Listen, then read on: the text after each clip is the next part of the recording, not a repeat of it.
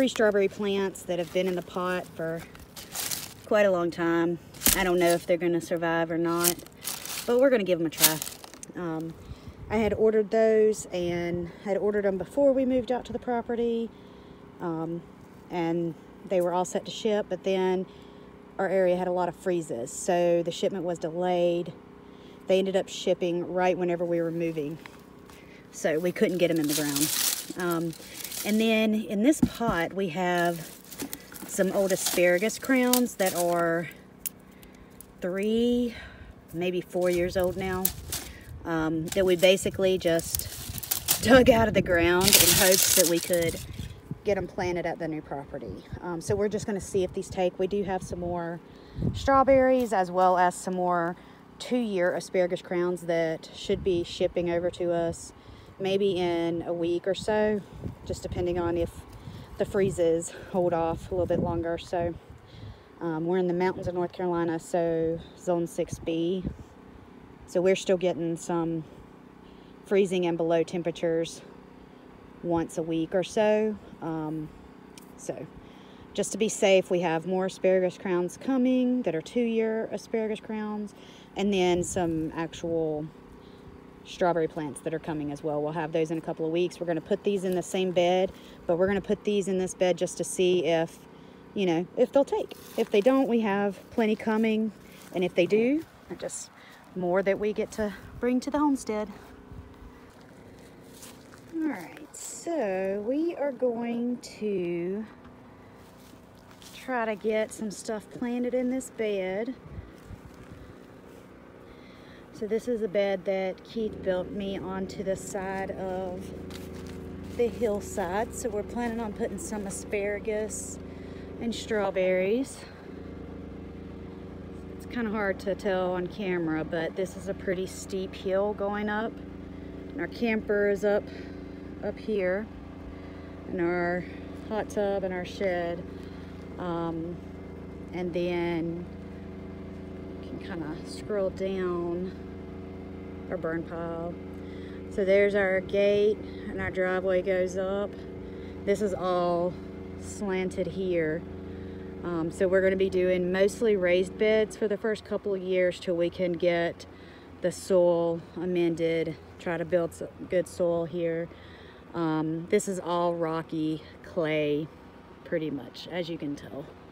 So that's where the house pad is going to be.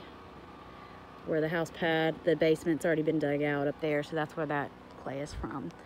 So we've got our fruit trees here. Just got some bags, mulch and stuff for them. More plants waiting to be potted, bulbs and stuff. And then here's the office just to kind of give you so heads up on where we're at. Um, can tell here the bed itself is slanted and these are cedar um, boards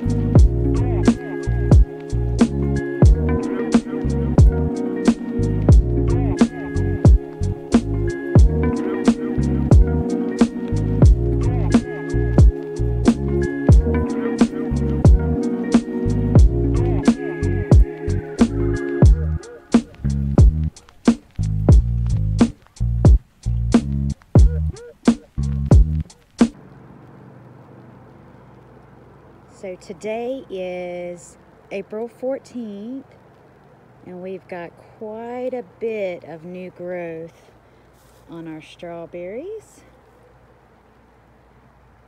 You can see the bright red and all the new green leafy growth. They have loved this rain we're getting.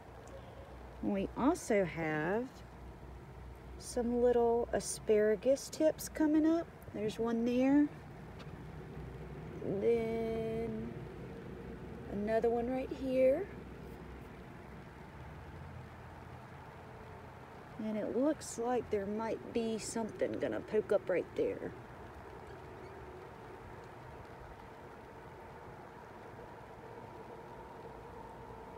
Lots of new growth in our strawberry and asparagus bed.